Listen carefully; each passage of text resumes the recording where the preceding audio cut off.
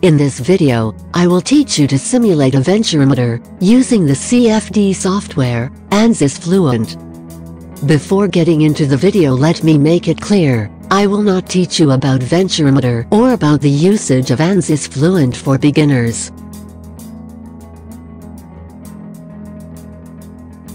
If you are new to ANSYS Fluent, or Venturimeter, please watch my video on Venturimeter and ANSYS Fluent tutorial for beginners suggested here. Here, I have considered a venturimeter of predefined dimensions.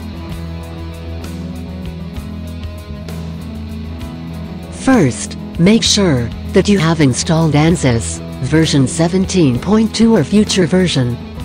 Then download the file, named Venturimeter case file, that is available in the description section of this video. Double-click the file to open the case file.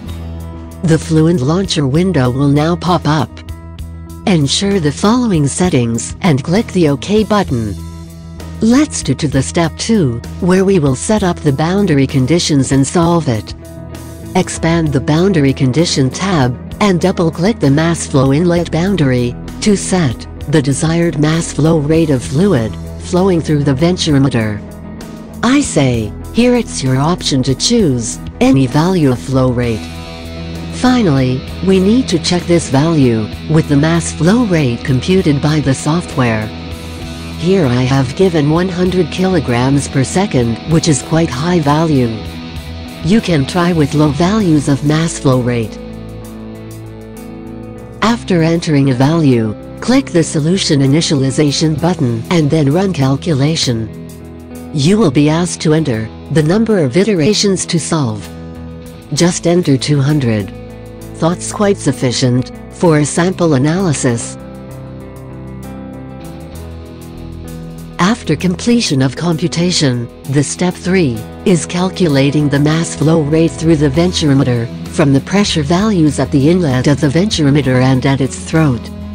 Now expand the graphics option from the results tree. Click the contours of pressure, static pressure, at Venturi section which is the symmetry of the venturimeter. Click display to view the pressure distribution at the symmetry of the venturimeter.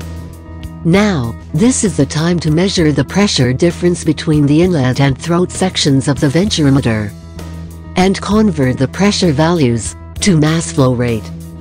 Right-click at any point near the inlet to measure the inlet pressure. Similarly, right-click at any point near the throat to measure the pressure at the throat.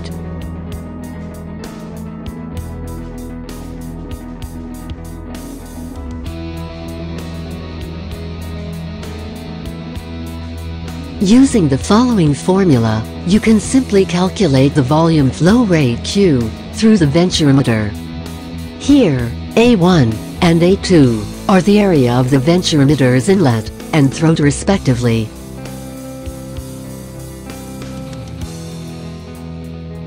If you substitute the diameter values in meters, use 0.3 meters and 0.15 meters for the inlet and throat diameters.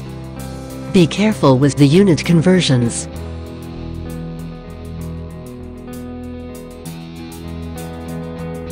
The term H is actually the difference in pressure head, where P1 and P2 are the pressure values that we have computed from the contour results. Rho is the density of water. Just plug in all the values to get the volume flow rate of the fluid through the venturimeter. As our intention is to verify the measurement of mass flow rate, just multiply the volume flow rate Q with the density of water. Now you will get the mass flow rate, what you have entered in the boundary condition mass flow inlet. Oh no! There is a difference. That is due to the error in measurement of the venturimeter. That is characterized by coefficient of discharge. You can now try with different flow rates and verify whether it computes correctly or not. The final learning from this experiment is that the mass flow rate through any pipeline can be calculated by fitting a venturimeter in between the pipeline. and by measuring the pressure difference. Now, we have simulated the same, using the CFD package ANSYS Fluent. Thank you. Don't forget to subscribe our channel.